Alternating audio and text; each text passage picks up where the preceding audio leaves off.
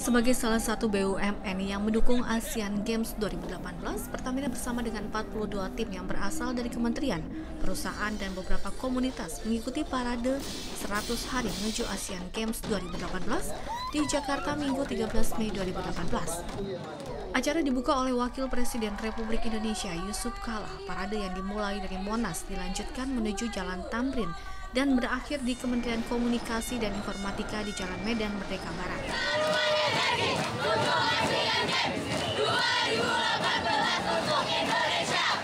Parade ini diikuti sekitar 5.000 peserta. Selain di Jakarta, parade 100 hari menuju Asian Games 2018 juga berlangsung di kota Palembang. Tim Liputan Pertamina TV.